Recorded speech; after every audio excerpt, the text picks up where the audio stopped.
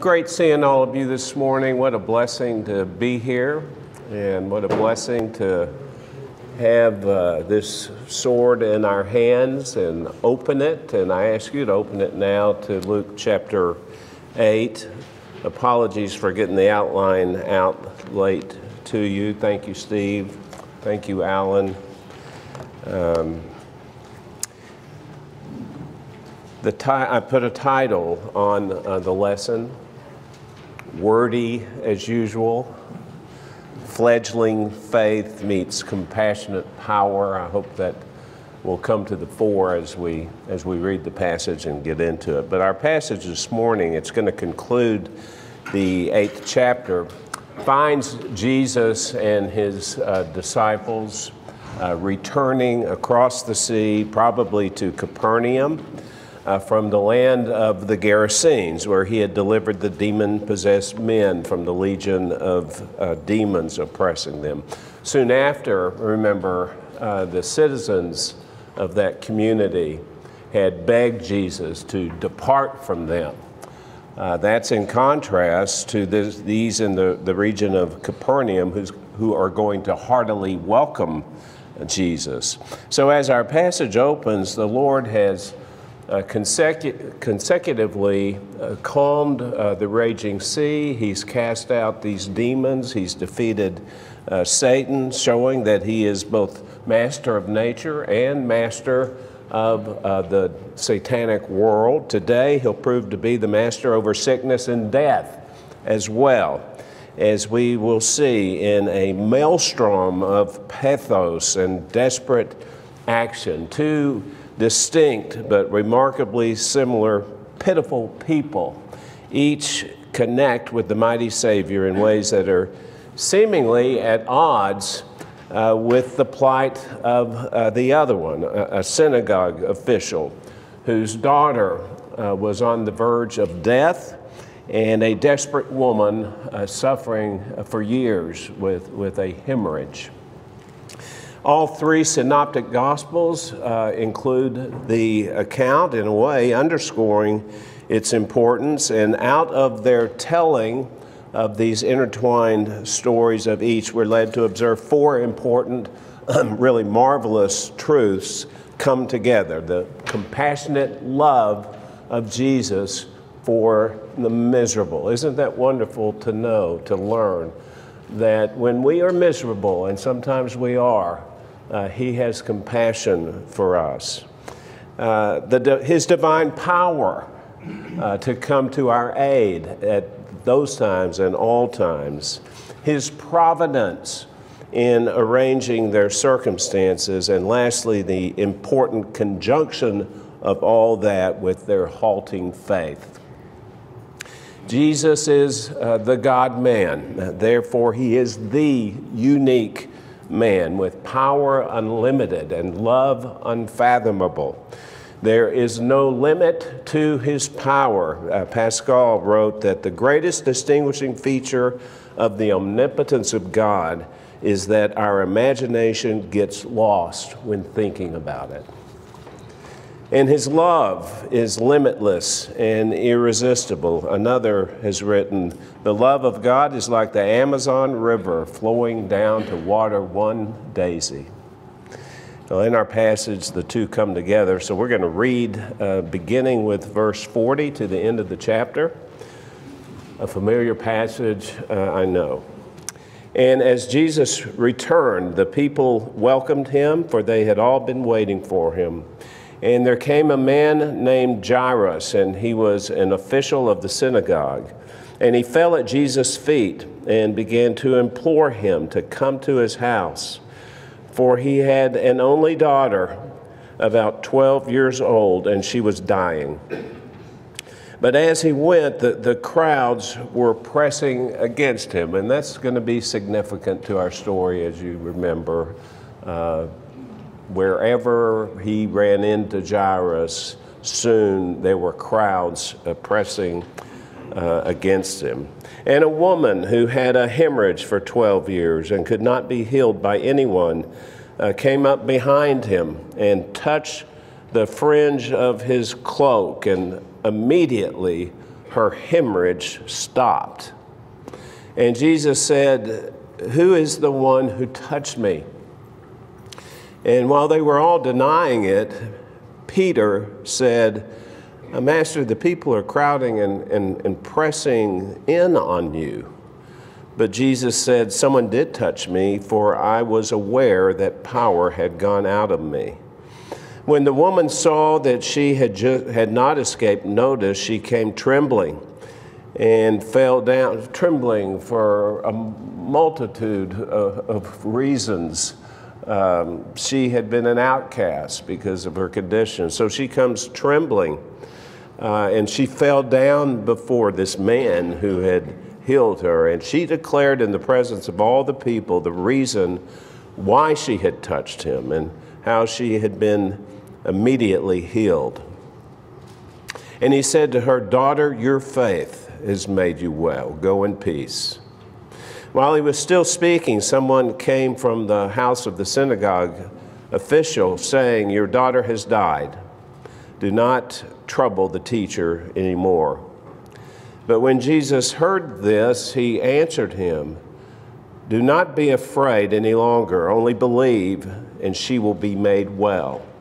When he came to the house, he did not allow anyone to enter with him except Peter and James and John and the girl's father and mother. Now they were all weeping and, and lamenting for her.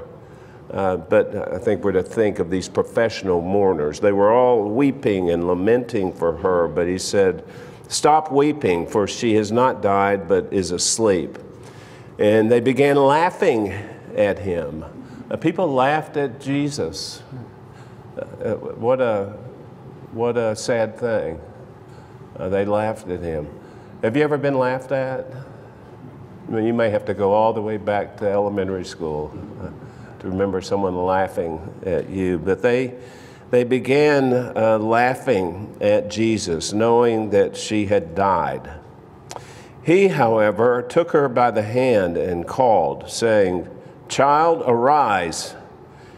And her spirit returned, and she got up immediately, and he gave orders for something to be given her to eat.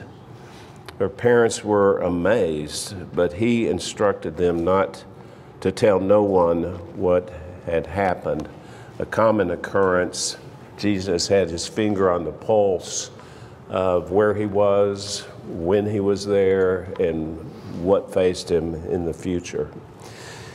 Well, the scene in Capernaum, we think it was Capernaum when Jesus was uh, returned, was electrified at a time in history, absent the immediacy of news spreading worldwide at the click of a send uh, button. Only the most important events raced from village to village. This past uh, fortnight, use that word intentionally, uh, we all probably were made aware of the death of Queen Elizabeth II within three or four hours uh, after it uh, had happened, after she had passed. Uh, so urgent and important was it to announce it to the world. And here it seems news somehow had traveled almost as fast. News about the commanding authority of this rabbi's uh, teaching, about his mounting miraculous healings and of power over menacing demons. Uh, hordes then of people uh, sought him out when he returned, pressing in upon him as he went about. They had been, have you ever seen a politician at a fundraiser or some event and uh, they walk in and people whoop, come, come, come up to him. I think that's what was, was happening uh, here. Uh, so they were pressing in upon him, and they had been feverishly waiting for him uh, in the early chapters of the gospel, of the gospels. It's always the people. Uh, the people clamored after him, eventually reminding us that once he had been popular, though for misguided reasons. Well, here they'd been waiting for him to arrive, and, they turned out in droves uh, to welcome him. And a man named Jairus, uh, Luke says, fought his way through the crowds to come to him. Uh, Jairus was an official of the synagogue, which meant that he was the man uh, responsible for arranging the schedule uh, of the meeting, the schedules of the meetings, the, who, who would speak and, and who would read, and arranging uh, the services. He was uh, tasked with those things. So he was a man of eminence uh, in the synagogue, certainly, but uh, therefore in the community. Uh, this day, he's a desperate um, man. This day, he is a desperate man. His little daughter, 12 years old, is sick to the point of death, we must assume that he had tried uh, everything that could be done to restore her health, just like you and I would do, but nothing had worked. And now, in desperation, he has seized this opportunity to come to Jesus. It's possible their paths had crossed uh, before, as Jesus had taught in uh, the synagogue, and perhaps Jairus had witnessed the healing of the paralytic that uh, Luke uh, recorded in uh, chapter 5 of the gospel or some other sick person. In any event, he comes to Jesus and he falls down before him with a desperate plea that he come to his house. His daughter was dying. That's what Luke tells us. His daughter was dying, and Jairus believed Jesus could save her. She was his only uh, daughter. And Mark records, I'm going to quote a bit from Mark in our lesson today. Mark has sort of a fuller um, exposition of, of, of, what happened. So Mark records in his gospel the tenderness with which Jairus refers to her. She's my little daughter, just like we would do. She's my little daughter. There are a lot of really difficult things that can happen to us in this life, uh, but losing a child is surely one of the very worst. Uh, you know, having a baby and then nurturing her and watching her grow, experiencing with her all the little steps of progress that she attains, uh, seeing her smile uh, for the first time and loving every time she smiles, watching her learn, hurting with her when she uh, cries, anticipating all the different rites of passage that little human beings go through. It's a roller coaster of joys and fears and laughter, which is one of the greatest rides of, of life that a person can em embark on. But part of the love for a child is the knowledge of how fragile her life is and how small is the margin between joy and devastation. Jairus and his wife were on the precipice of devastation. He had come to Jesus out of desperation as a last resort to try to stave off what looked to be a heartbreaking end. And Jesus responded. Uh, Luke says in verse 42, in his abbreviated fashion, simply that Jesus went. He, he recognized that here was a man with a great need, so he went with Jairus. But as he went, the crowds, the crowds were pressing against him. And the challenge now was to fight through the crowds and get him to her before it was too late. Streets were quite narrow in these ancient uh, cities. Uh, wherever he met Jairus, they were going to his house now, and his house apparently was in the city. And so a crowd such as this meant that there would be a kind of crush of the crowd pressing in on Jesus that Peter in verse 45 will describe as he protests. And that's when there came the unexpected delay, uh, the interruption that would vex the synagogue official but serve as a springboard for the Son of God to reveal his power, wisdom, and love in an even more striking way. A woman came up to Jesus, and it brought their hurried progress to a halt. Uh, which had to have been most frustrating to Jairus and only added to his anxiety. Uh, Luke simply says that the woman had had a hemorrhage for 12 years and could not be healed by anyone. Was it a coincidence that the man with the 12 year old daughter is now delayed by a woman who has continued for 12 years in her suffering. Perhaps, we don't know.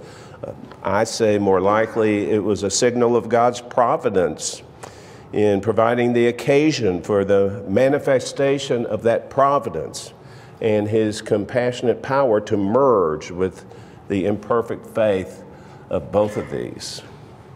The woman suffered from a hemorrhage, whatever the cause or source of it, it meant that she suffered from a persistent and unwanted flow of blood, and the consequences of that would have been uh, awful.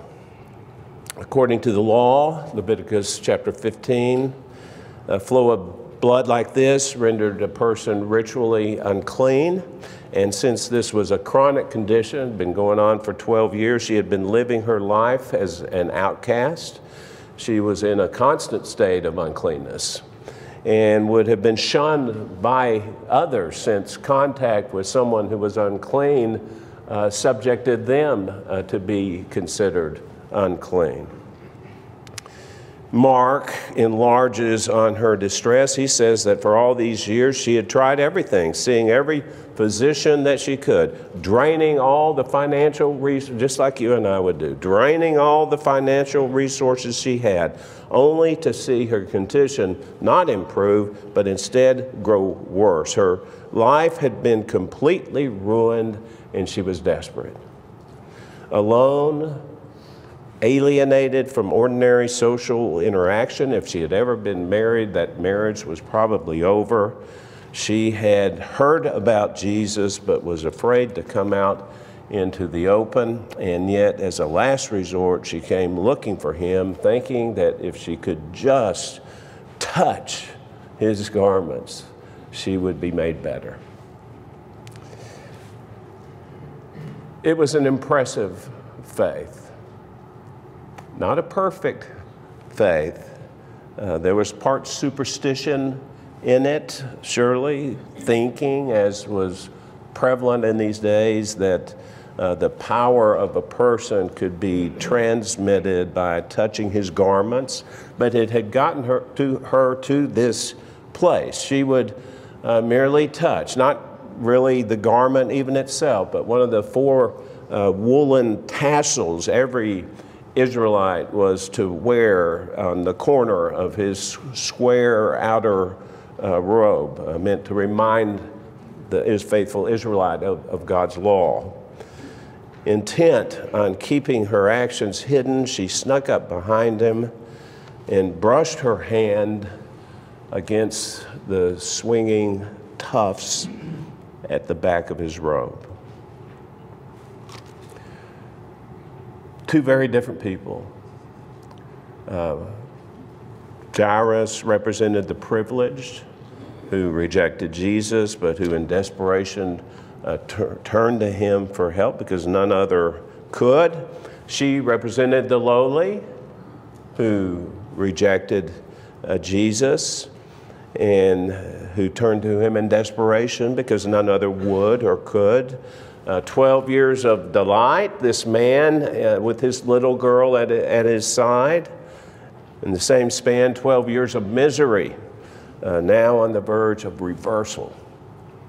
But both had exhausted every resource and every other recourse. Both had reached the end of their rope and were more desperate than they had ever been. Both hoped that what they wanted to be true about Jesus, that he had the power to heal in himself, really was true. Could it, she'd heard about it, was it true? Uh, both had an imperfect understanding of both Jesus and his power. According to Mark's account, Jairus wanted Jesus to lay hands on his uh, daughter. She looked to touch his, his garment. But in the case of both, uh, Jesus responded uh, favorably, following after uh, Jairus in haste to his daughter, then looking uh, for this woman in order to affirm her faith. So, uh, for both, Jesus had compassion, taking their small, imperfect faith and responding to it, strengthening it uh, by his love and healing mercy. The woman experienced it first after she touched his cloak. Luke says in verse 44 that immediately her hemorrhage stopped. And Mark adds that she felt in her body that she was healed of her affliction. Can you imagine? She felt in her body that she was healed. So that's another way of saying she knew after 12 years she was healed. Can you imagine how thrilled she was? What a relief this was. It was the greatest day of her life, and she must have been bursting with elation, with, with joy. She felt it. She was healed at last. The same power that we saw had calmed uh, the winds and the sea, had rescued this woman from a 12 year long agony. Jesus felt something too. To the woman and to those who would later hear of it, her cure might have appeared to have come about by some kind of magic. Pick a card, any card, touch a tassel, any tassel. But what follows put the lie to any such notion. The Lord would not have it because he himself was completely aware of what had taken place, and now he would bring the woman to see that it was her faith in God which had led to the cure. And so he asked the strange question in verse 45, looking about him, Who is the one who touched me? And you can imagine how those around uh, would react when challenged like that by the daunting Lord Jesus Christ. Not me, I did not touch you. Peter, however, always the exception, uh, seemed irked by the, the question. Uh, Mark's account again is fuller. Peter rebukes him. You see the crowd pressing in on you, and you say, Who touched me? They knew what the most important thing was on their agenda at the moment. It was a, to get this important man, this very eminent man, to his house as quickly as possible to give help to his dying daughter. And, and with the crowd, the going was difficult. I'm sure many of you, I know many of you are, are sport fans and you've experienced what it's like uh, to go to the big game big time college football game at an old stadium like the Cotton Bowl in Dallas.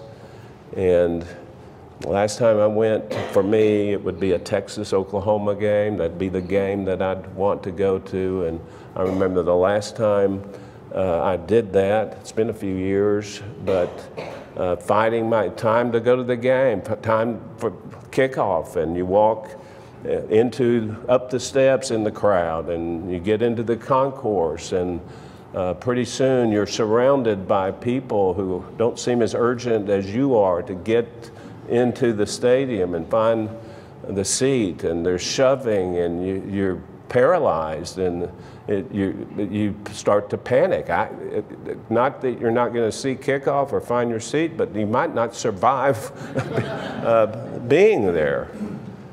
So here Jairus and his disciples were, they were leading interference uh, for Jesus. Uh, through the crowd, pressing in from every direction in order to get that little girl, to get to that little girl, and Jesus stops and asks, Who touched him? It irritated Peter. And his reproach showed a lack of respect. But the Lord ignored him uh, because he had something more important in mind at the moment. He said, Someone did touch me, for I was aware that power had gone out of me. Now, that's a very interesting thing. I'm sure you've thought that too as you've read this. I was aware that power had gone out of me. How a woman could come up behind Jesus, unbeknownst to him, who touched me, unbeknownst to him, touch his clothing, feel the healing come to her through his healing power, and Jesus would himself feel the transmission of that power. How could it happen?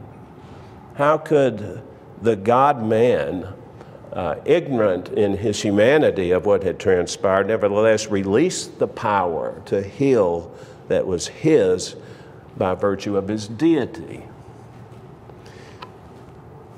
I hope this helps. So consider this. Jesus was hungry in the wilderness. He'd fasted for 40 days. Uh, he would not turn the stones uh, into bread. He could have, couldn't he? He could have turned the stones into bread. He had the power to do that.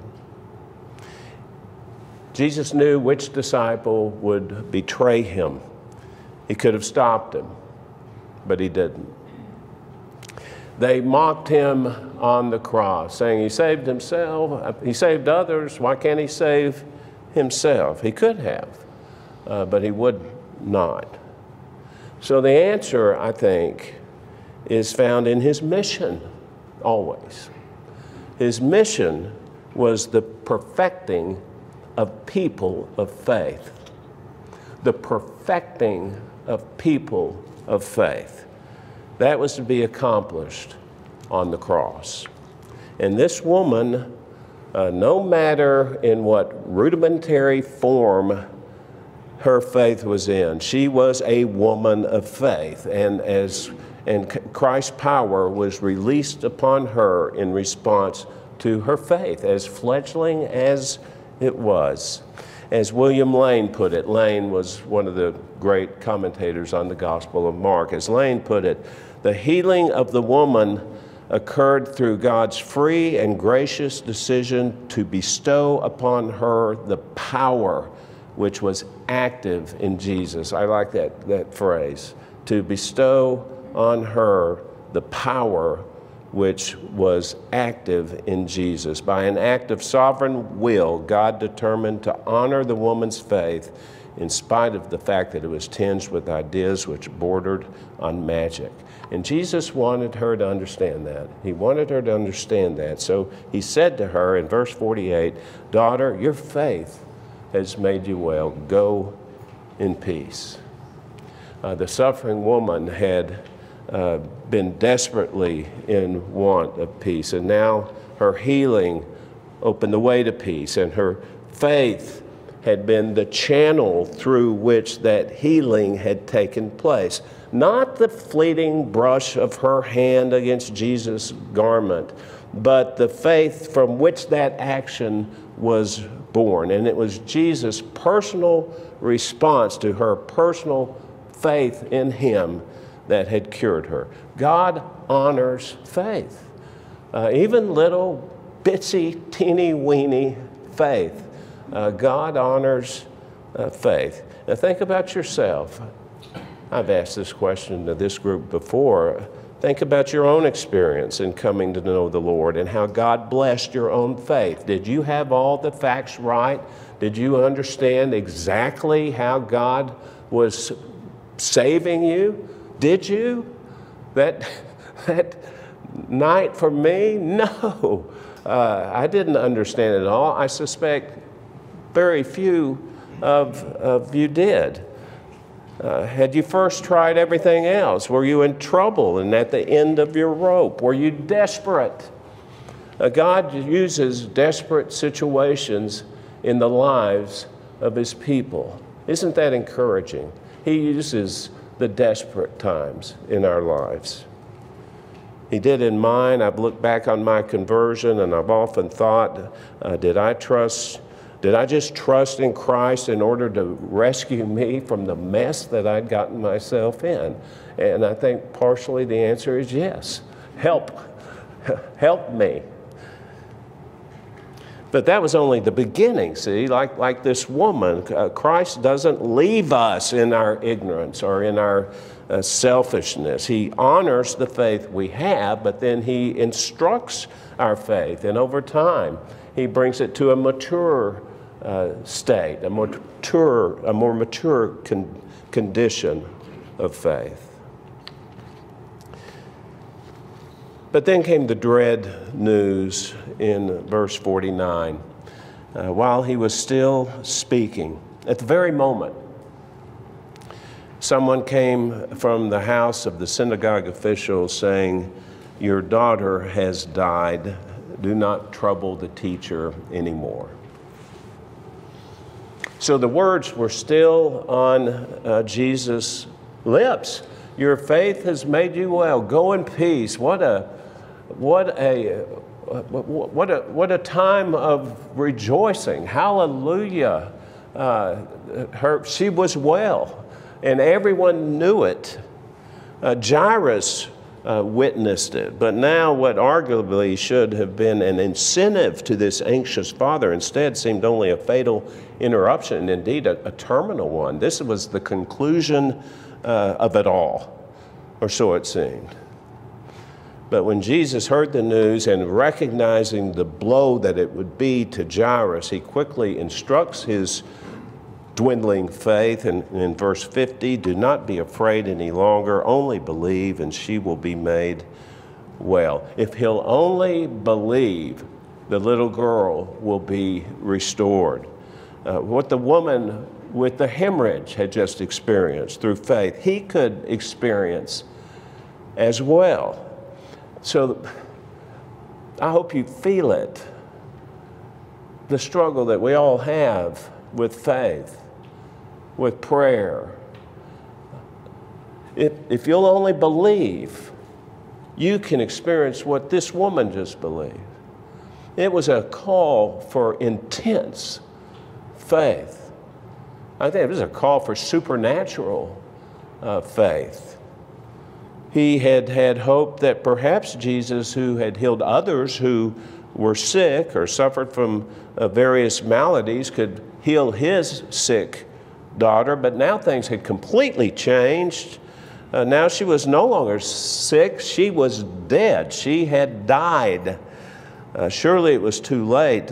Uh, they were right. Why trouble him anymore? Why, uh, why waste everybody's time? Why keep up the commotion? For Jairus, now he was being asked to go a step beyond the faith in the healing ability of Jesus and exercise faith in the face of death. His, his faith needs to kick in the gear. What the Lord does next is both fascinating and mysterious. When he had healed the woman, he had done it before everyone, before the eyes of uh, the multitude. Uh, this illustrated his mercy, if you think about it, because it was important for the woman. Uh, unclean in the eyes of all for so many years. She was the unclean woman. Stay, uh, stay away. It was important uh, to, for her to benefit from the full publicity of her cleansing. But now there was to be a resurrection. And Jesus singles out only the girl's father and mother. And for the first time, that trio, that famous trio, Peter, James, and John, to accompany him into the room where the child's dead body had been laid. And we learn something here. God's view of different God's view of death is different than humans. Jesus will reinterpret it from the point of view of God. But first, having arrived at the house, uh, this typical Eastern mourning scene is already in uh, full display, and uh, with the hired mourners and all the wailing and weeping, and Jesus rebukes them Stop weeping, for she has not died, but is asleep. Uh, only Jesus, only Jesus, among all those who were there that day, truly understood the truth of that. He was the master of death, and he knew that death is not so much related to the physical body as it is to the separation of the soul from God. And this he intended to prevent now. Uh, thus, he was interpreting death from God's viewpoint. The comment, though, inspired much levity at his expense. They, they began laughing at him. But Jesus is, is in no mood uh, for it. The man who would one day weep uh, at the tomb of Lazarus, even though he knew he was going to call him forth from, from, from the tomb and he would emerge uh, alive. Here he feels the same kind of disgust and sorrow at the obvious pain and despair of death. And so Mark records that he put them all out. Put them all out. And then they entered the room where the child was, and the Lord, according to verse 54, took the little girl by the hand and called out to her, saying, Child, arise. I love that. And her spirit revived, Luke writes, and what was once only a dead body responded as all the living do. She got up immediately, perhaps I would say enthusiastically, and Jesus directed that something that she be given something to eat. She'd been through an ordeal. This this 12-year-old had been through quite the ordeal, and Jesus intended to refresh her now. Child arise is what Luke records Jesus said to her Child, arise. Of course, that's Greek translated into English. But Mark, in his gospel, uh, provides the words in Aramaic, as Jesus would have actually spoken them. Talitha cum, little girl, get up. Talitha cum, little girl, get up. And Luke, primarily writing, maybe remember for a, a, Gentile audience, omits that and simply gives the Greek translation. But here's the interesting thing Peter was there. So, Peter, uh, who would become the famous apostle, uh, much used by the Lord, he witnessed what happened that day in this little girl's uh, room. And years later, would be personally faced with a similar sad scene.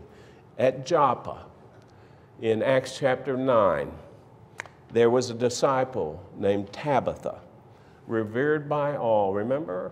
Also known as Dorcas, Tabitha. She fell sick, she died. They called for Peter, they'd heard that he was in the region. And when he arrived, and perhaps remembering this scene, this conjecture, uh, but he arrived, maybe he remembered uh, this scene. And he knelt down and he prayed. And turning to the body, he said, Tabitha, arise. In Aramaic, that would have been Tabitha cum almost the same phonetically as what he heard this day come out of the Lord's mouth in Aramaic, Talitha cum. Tabitha cum. And in like manner, faithful Tabitha, Tabitha, opened her eyes, saw Peter, sat up, and was presented alive to those that loved her at the church at Joppa. Peter, remember, was the main source it's almost certain, for Mark's gospel. Isn't that interesting? And so Mark records exactly what Jesus said in that room that day Talitha cum. But here in uh, Jairus' household, there must have been a sense of remarkable joy, but also awe at what Jesus had accomplished for them. What a whirlwind of events as we bring this to an end. Uh, only God could have orchestrated such a chain of circumstances and brought them all to such providential uh, blessings. A daughter in critical condition, a woman uh, shamefully suffering from a severe disease, hope kindled, hope dashed, the woman restored, the child brought back to life.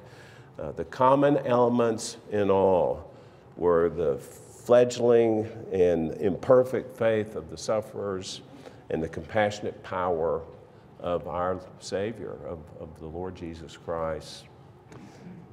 What little faith we have, what imperfect faith. Some of you have more faith than me.